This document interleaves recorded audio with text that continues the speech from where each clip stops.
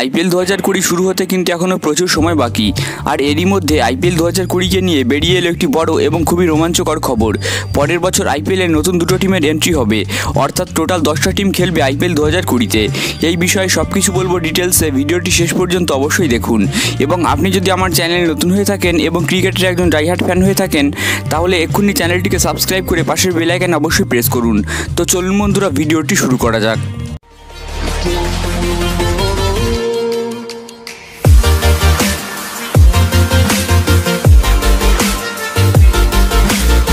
আইপিএলের governing council plan করেছে যে আইপিএল দু হাজার কুড়িতে দশটা টিম করানোর জন্য।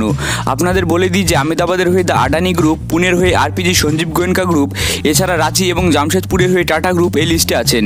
অর্থাৎ এদের মধ্যে যে কোনো দুটি টিম আইপিএল দু হাজার কুড়িতে দেখা যেতে পারে। দু হাজার এগারো সালের আইপিএলেও দশটা টিম অংশগ্রহণ করেছিল। তার মধ্যে দুটো নতুন টিম ছিল কোচি টাস্কার্স কেরালা এবং rising Pune super giant's.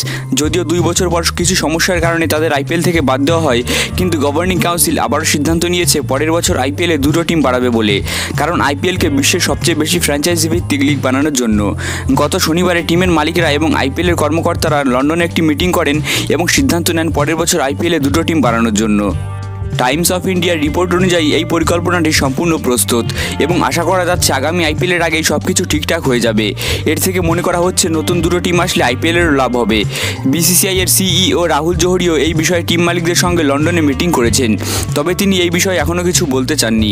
Goenka group, যাদের আইএসএলেও একটা টিম আছে, তারা এবার আইপিএলেও টিম কিনতে আগ্রহী।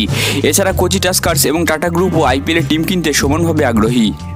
যদি সব কিছু ঠিকঠাক থাকে, তাহলে আইপিএল দু হাজার কুড়িতে আমরা নতুন দুটো টিমকে দেখতে পাবো। তো বন্ধুরা, আপনারা জানতে পারলেন আইপিএল দু হাজার কুড়িতে নতুন দুটো টিমের ব্যাপারে।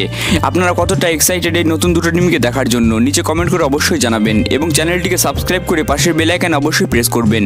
তো ভিডিওটি দেখার জন্য ধন্যবাদ বন্ধুরা।